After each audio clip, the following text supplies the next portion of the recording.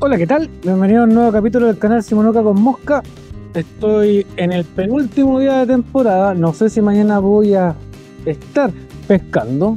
Así que decidí hacer este video de último día de temporada, a pesar de que el día final de la temporada es mañana, por lo menos acá en Chile continental. Estamos a sábado 6 de mayo de 2023. Este video obviamente no salió en la misma fecha, muy probable que esté saliendo en pleno invierno, pero este video un poquito para resumir lo que fue el año, agradecer a todos los que estuvieron siguiendo el canal, agradecer a todas las tiendas que apoyaron la liga. Yo en esta liga, en este campeonato aprendí mucho de pesca, estoy pescando mucho mejor que hace 5 o 6 años cuando empecé a competir Así que estoy muy contento por eso. Agradecer también a todos los clubes que prestaron sus sedes, sus miembros para organizar campeonatos en las distintas regiones. Y obviamente a ustedes, todos los suscriptores del canal que permiten que esto siga siendo posible, porque en realidad si ustedes no están ahí, esto no tiene ningún sentido. Mis videos en realidad son más bien para enseñar, para difundir y si es que no hay gente al otro lado de la pantalla, es perder el tiempo. Está bastante fresco, hay que vadear este río con mucho cuidado. En todos los videos los digo. En este río normalmente me caigo, pero antes de ayer que anduve por acá no me caí. El video seguramente ya lo vieron, fueron 10 minutos de pesca con simonuca con mosca en el diquillín. Así que pretendo hoy día no caerme.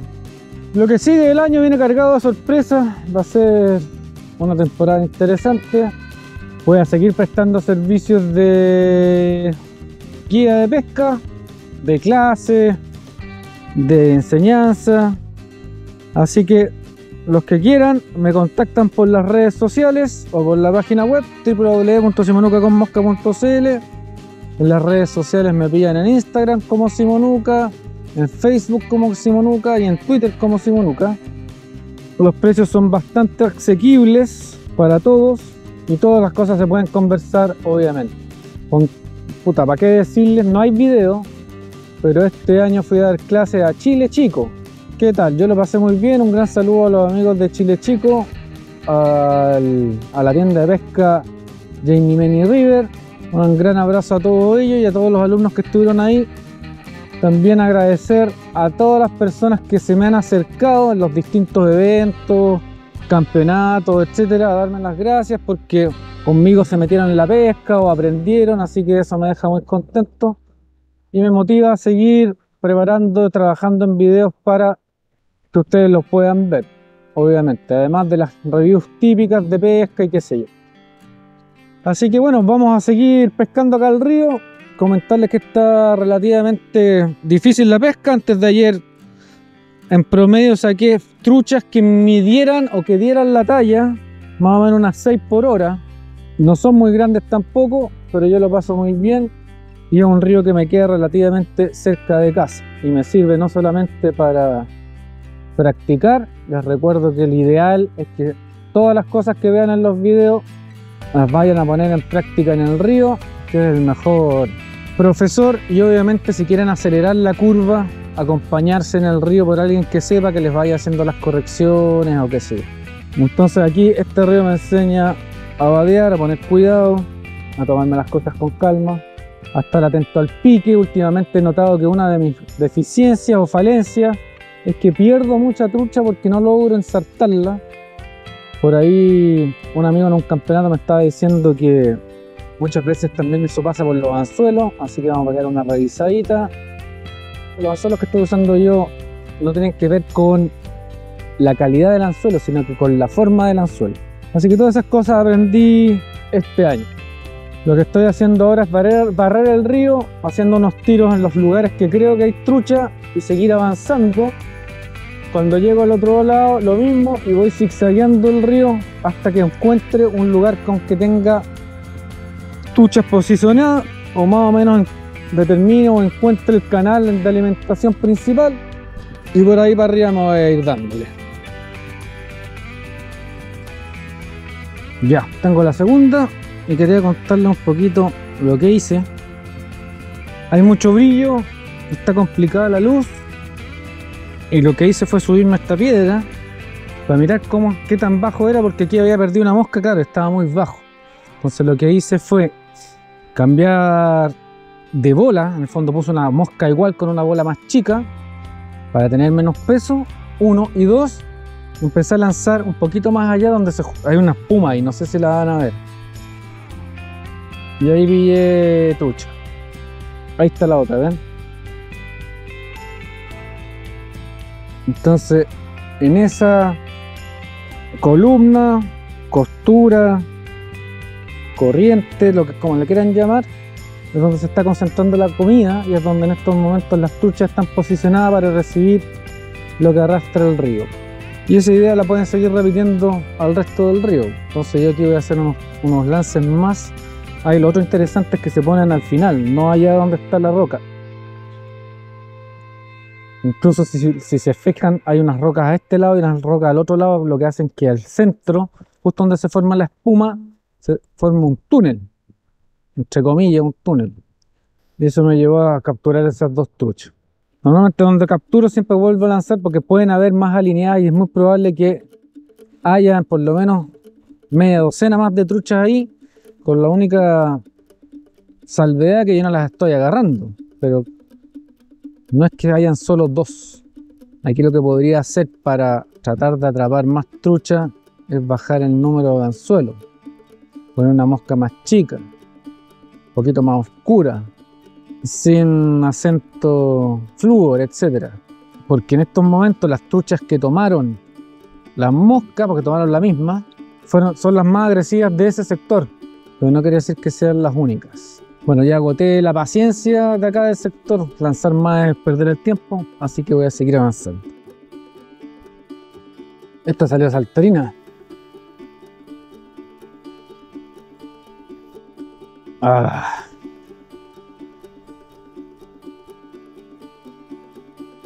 Uy, llegamos a los 30, buena. Tomo la pesantail, he estado cambiando harta mosca porque como les venía diciendo, muchas veces uno dice aquí no hay trucha pero aquí está lleno. El problema es que no las he atrapado, ¿no? Está bonita esta. Llevan tres. Lo que pasa es que cuatro, pero la otra no la cuento porque es de talla más chica. Vamos a lanzar de nuevo al mismo lugar. Ahí tuvo un pique. Porque he visto truchas saltar, tomar el donde está la espuma y no lograba capturarla. Ahí vi un blanqueo, así que puse una mosca muy chiquitita arriba, un perdigón arriba y abajo tengo cola de faisán, entonces la de arriba, ahí está. Se fijan, tomó la de arriba. Eso a esto me refería, que veía de este tamaño de trucha saltar y no las estaba capturando. Y en vez de hacerme el hueón, dije, puta, ¿cómo no lo voy a capturar. Así que empecé a cambiar mosca hasta que di con algo que yo creo que es la adecuada. Yo creo que no es 100% la adecuada. Podría ser mejor una un pelín más chica, pero no tengo.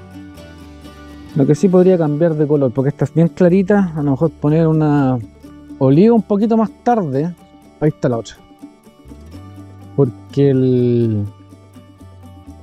Todavía no he visto un hatch como tal, pero hace dos días había harta efémeras eclosionando. Esta tomó la variación de Pesantail. Ahí salió. Vamos a ver si es que la noto. Si mide 18, sí, la noto. Entonces, si se ven todos los videos, les recuerdo que hay más de 950 videos en el canal. ahí hay otra. ¡Ay, la perdí! Pero si se fijan ahí, hay varias subiendo. Lo que está eclosionando en estos momentos es algo muy pequeño. Pueden ser unas caves chicas o pueden ser unas efímeras chicas. Vamos a lanzar un poquito más allá. A pesar de que este sector se ve plano, voy a hacer un...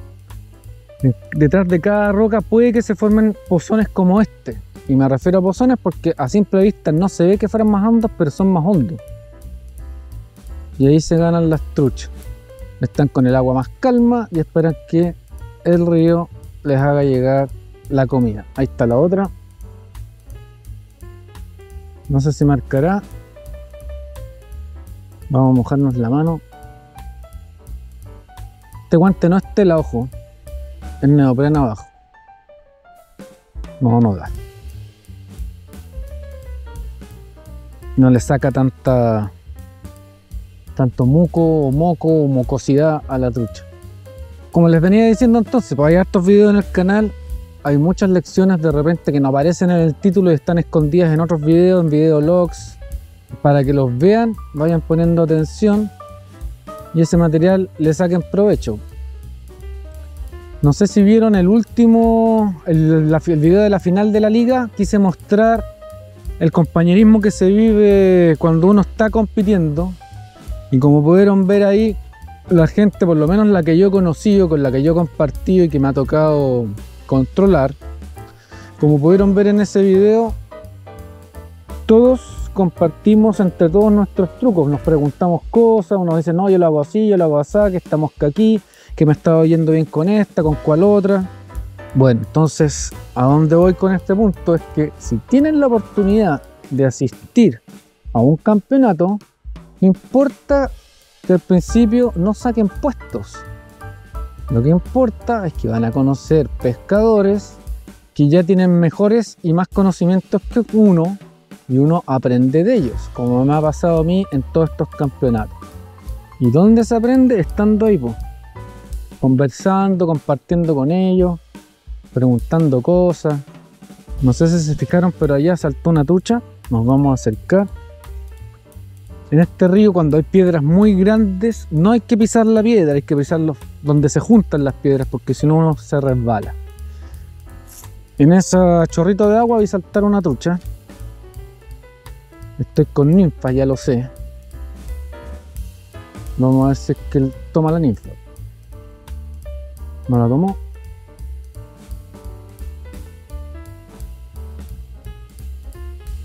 Ahí volvió a saltar no la tomo. Me moví para tratar de derivar mejor por el canal por donde podría estar la trucha esperando. A veces no se mueven tanto a tomar lo que el río les lleva. Otras veces sí. Ahí está. Un pequeño cambio de ángulo para lograr que las ninfas pasen por donde tienen que pasar. Y eso puede hacer la diferencia. En este caso, con conocimiento de causa. Porque la vi, entonces hay veces que uno en un mismo pozón tira dos o tres veces en el mismo lado, pero con ángulos distintos. Y si con ese cambio de ángulo, de ángulos distintos y tal vez un cambio de mosca no pasa nada, hay que seguir. Les recuerdo lo que dice Albert Einstein, o lo que la gente dice que él dice, pero da lo mismo, es buena traerlo a colación. Que si uno pretende resultados diferentes haciendo lo mismo, está loco para obtener resultados distintos hay que hacer las cosas diferentes. Y ahí es donde está el cambio de ángulo, el cambio de mosca, seguir río arriba, esperar un hatch, etc. Puta, la chuntamos una bonita. Ahí sacó la, cabeza, sacó la cabeza. ¡Éjole! Ay, tomó la más chiquitita. Buena.